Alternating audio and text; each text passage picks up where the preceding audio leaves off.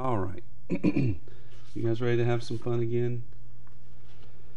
Chapter 13 Real Time Imaging Temporal Resolution. Um, in the early days, making an image was time consuming. Images were displayed one frame at a time. We had static scanning. Um, it was impossible to image moving structures. Uh, modern days, you know, technology is so advanced now. Each frame is created and displayed very quickly, providing the impression of constant motion or real-time imaging. Uh, this is this is that that live, you know, live concert you're watching on TV, or it's it's it's just like you're there, right? It's as you move the probe, the the screen moves with you. You know what's on the screen moves with you. You know there's no longer a delay or there's no longer a wait.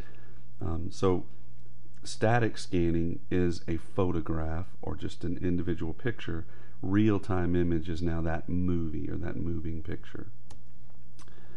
Uh, to understand all this, we have to kind of break all this apart. So, um, movies are made up um, of a bunch of frames or a bunch of pictures together. Um, and then those are are shown across at a specific rate. Um, no different from remember uh, the corner of the book in high school when I used to draw the little the little stick man running. You know, the faster I flick those pages in the book, and you can hear that. You know, the quicker it, or the more fluid it looked like the little stick figure was running. If I just kind of real slow, then it just it kind of looked that herky jerky kind of you know just choppy movement. That all has to do with the frame rate. Okay, frame rate is very important. That is the number of frames created per second. It is determined by two things the sound speed in the medium and the depth of imaging. Uh, those are the things that affect the number of frames that I can create per second. It is a hertz now, okay? Remember, per second means hertz. So if I say, what is my frame rate? I might say 10 frames per second or 10 hertz. So note, um, let's talk about the speed of sound in the medium real quick and just get that out of the way.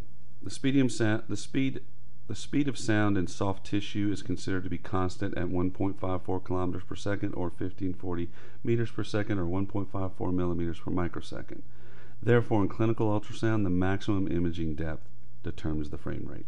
In other words, that speed of sound in the medium, yeah, we understand if I ask you a question, uh, what two factors determine the frame rate you're going to know the speed of sound, in the medium, and the depth of Im- imaging. You're going to forget about the first one after that because we care. The only, excuse me. The only thing we care about or that we image is soft tissue. So it's constant. It'll never change. So we're going to study in detail how the depth of the Im- of depth of imaging uh, affects our frame rate. Um, now that we understand frame rate or the number of frames per second, let's talk a little bit about temporal resolution.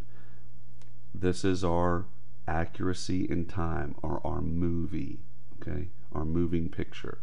The ability to precisely position moving structures from instant to instant. Uh, temporal resolution is excellent when the system produces many frames per second. Temporal resolution is poor when the system produces fewer frames per second. So that's no different from me doing the the stick man at the corner of the book and and flicking through it that fast. That's a lot per second, right? So he's going to look like it's going to look really fluid and good, and my temporal resolution is going to be excellent. Whereas if I just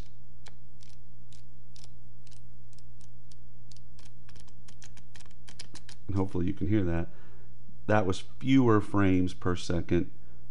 That temporal resolution is poor. It's going to kind of slow down my movie. It's going to degrade it. What is temporal resolution determined by? The frame rate. I just proved it. A high number of images per second improves temporal resolution or improves my movie. A low number of images per second degrades or reduces um, or decreases my temporal resolution. Understand the terminology. Use whatever words you have to use as long as they mean the same thing. Um, again, units is is uh, units are hertz or per second because if it's determined by the frame rate, what is frame rate? A hertz or per second. Uh, so now that we've ha- now that we've learned the terminology, let's apply it. Um, let's you know I know you guys got this stuff. You understand it. Just follow your rules, okay? So what is the relationship? excuse me, between the frame rate and the time required to make a single image. Okay. Now we're we're telling you one more piece of that frame rate. How do we figure it out? Okay. Well, I know I can make 20 per second or 30 per second or whatever it is.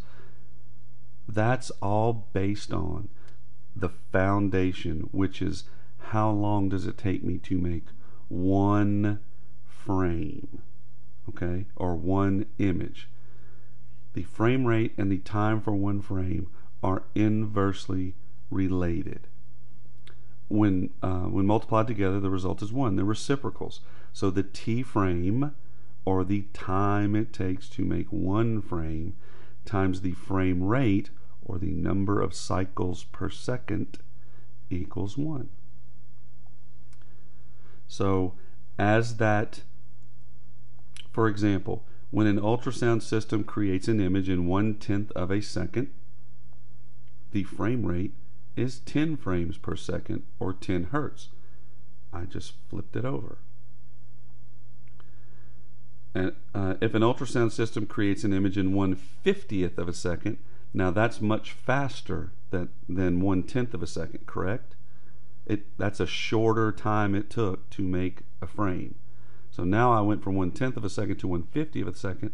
What is the frame rate? 50 frames or 50 hertz.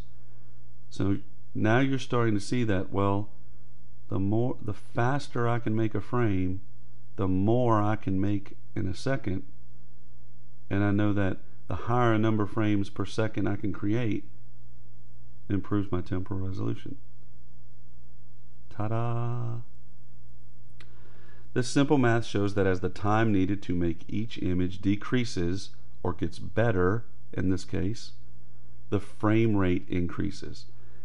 Think about this terminology. Normally we hear decrease as a bad word, but I'm telling you the time it takes to make each frame is getting faster. Okay? Faster means decreases. You know, if I run if I run, okay, let's use a perfect example. Right now, I could run the 40 yard dash in probably 40 seconds. All right, but if I start training and I get faster, then I can run the 40 yard dash in 20 seconds. Is that time not decreased? But is it a good decrease? Yes, I'm faster. The time is shortening. So if it takes less time to make a frame or that time decreases, the frame rate increases. And if the frame rate increases, what happens to my temporal resolution? It increases. It gets better with it. Because the frame rate determines temporal resolution. The system settings that determine frame rate. there are two sonographer controlled settings uh, their imaging depth, and the number of pulses in each picture. we're going to talk specifically about each one of those. You know, these are things that we change all the time, especially the imaging depth. Uh, imaging depth. Shallow imaging increases frame rate, therefore improves temporal resolution. Deeper imaging decreases frame rate, therefore degrades or reduces um, or decreases temporal resolution. Why? remember the 13 microsecond rule or remember the go return time. You know, it took the deeper I go, the longer it takes to get there and back, right? So if I tell you that my image is made up of five pulses and and each one takes a second to go there and back, it takes five seconds to make that pulse, right? Or to make that image. Well, I'm using the same five pulses, and now I'm telling you that it takes two seconds to go there and back for each one. Well, then it, now it takes 10 seconds to make each image. So the deeper I go, the longer it takes to go there and back. You see how this is starting to relate to how fast I can make one frame, which then directly affects the frame rate. So, and that directly affects the temporal resolution. And I'm not directly relating these things, I'm directly affecting these things. Don't misconstrue what I'm saying. Uh, imaging depth and frame rate are in are inversely related. So the deeper I image, it affects how fast I make a frame. So it increases the time it takes to make each frame. Therefore, it decreases my frame rate or number of cycles I can make per second. Those are inversely related, correct? I hope you said correct. Figure 13.1 shows that. Remember, you know, when you when you're looking at this stuff, you know, in the notes that I've given you, you know, follow the pictures in the book. They're awesome. Use the, the literature in the book. You know, complement the literature in the book with these notes. Okay, this is the important stuff, but use those pictures as well. So let's prove it. the T frame, excuse me, equals the number of pulses times the PRP, or the pulse repetition period, or the go return time. You know, the start of that pulse comes all the way there, goes all the way, goes all the way there, comes all the way back. Boom, another one starts. That from the start of one pulse to the start of the next, the go return time. They just threw PRP in there. That's that's what we're thinking about. T frame equals number of pulses times the PRP. So, for example, an ultrasound system creates an image with 100 distinct sound pulses. Each pulse travels to a maximum depth that requires a round trip time, or PRP, of 1 one thousandths of a second. What is the time needed to make a single frame? Well, let's do the math. We know that the T frame is the number of pulses times the PRP. So let's input our information. We have 100 pulses times the PRP, which is 1 one thousandths of a second. Therefore, if we do the math, that becomes 100 over a 1,000, which is 1 tenth of a second. Our T frame is 1 tenth of a second. The time it takes to make one frame or one image, I'm sorry, one, yes, one image is one tenth of a second. What is my frame rate? Flip it over. My frame rate is 10 hertz. Simple as that. So now imagine that the sonographer adjusts the depth of view to half as deep. Half as deep is the same thing as saying, I just went shallow. Okay? Half as deep as I was. If I was 10 centimeters, I'm now 5 centimeters.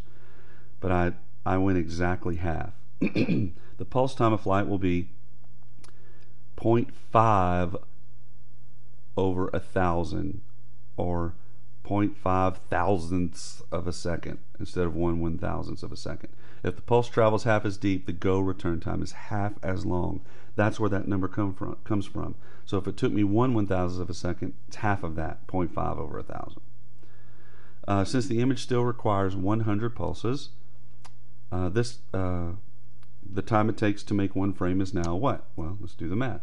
T frame equals number of pulses times the PRP. We still have the same 100 pulses, but now it's multiplied times that 0.5 or 0.5 over a thousand seconds of a second, which then becomes 100 times 0.0005 seconds, which is 0.05 seconds or 1 20th of a second is the time that it takes for me to make one frame.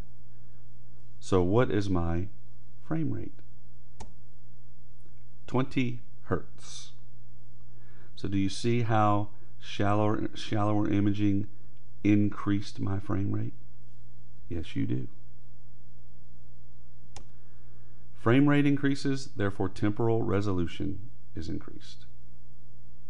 All right, so go and review and understand and know Table 13.1, and that talks about imaging depth and temporal resolution, shallow imaging versus deeper imaging and we will continue with the next video.